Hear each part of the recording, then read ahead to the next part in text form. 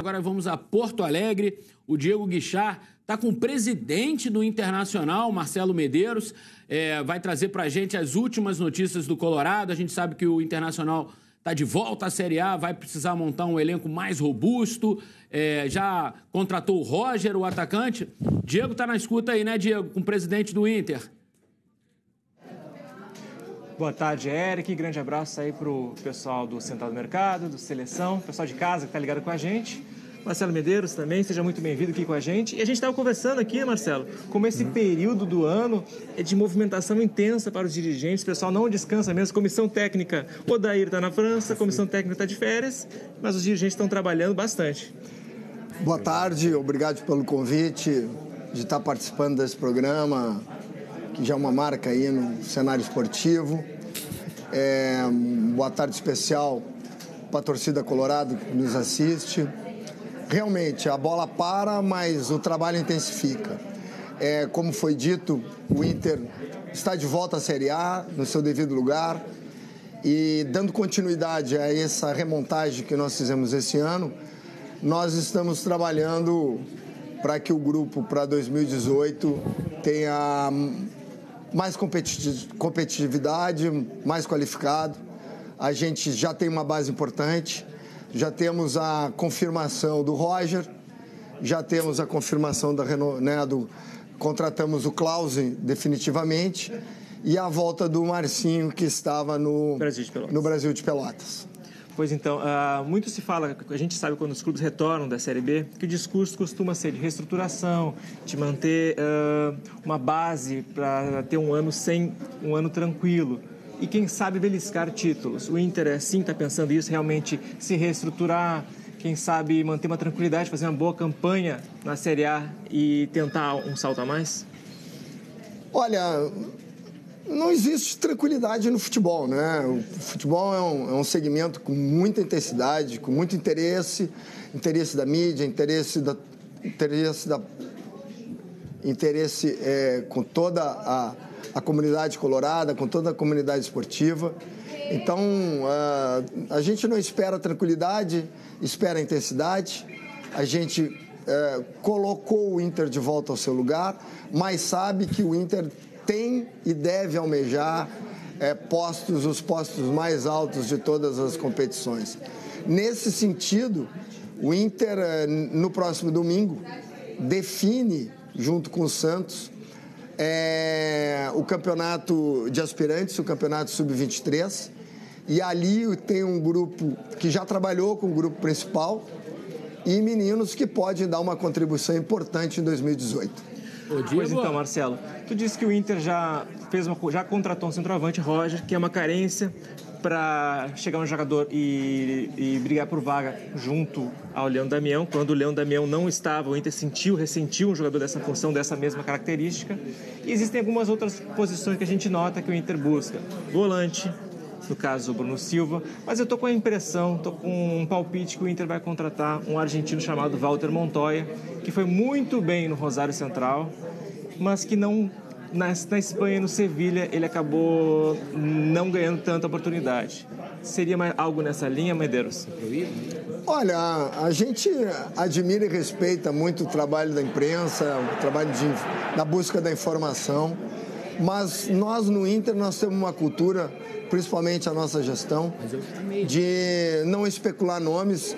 Os dois nomes citados são excelentes jogadores e não, não para não só para não criar expectativa no torcedor, mas para também não atrapalhar qualquer negociação que esteja em andamento.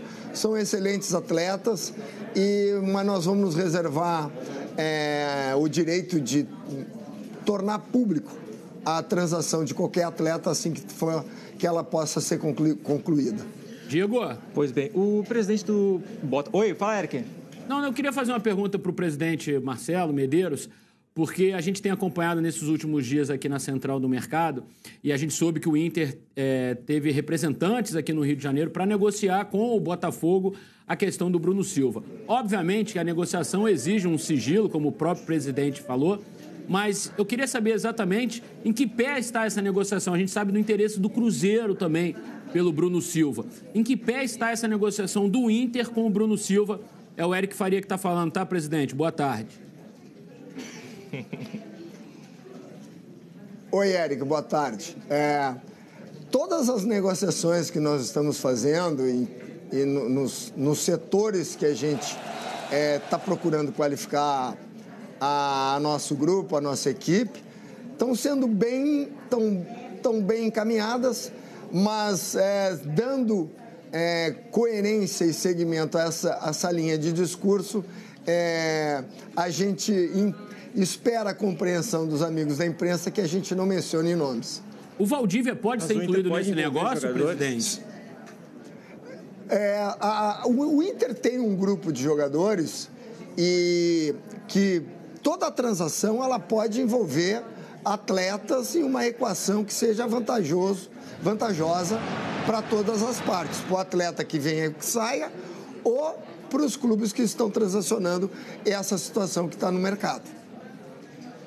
A gente tem um número de jogadores previstos, por exemplo, aqui na imprensa especula-se algumas posições: lateral direito, zagueiro, volante, um meia capaz de fazer a ligação, né, que seria, teria característica do Montoya, como teria característica do Acosta, por exemplo, do Lanús, esse jogador que faz, que, que marca e ataca, e centroavante, uma carência que já foi finalizada. É mais ou menos por aí? É, o Roger, ele, ah, ele, ele exerce mais uma disfunção dentro de um esquema tático. Ele também pode jogar pelo lado, ele joga por dentro, ele faz o pivô.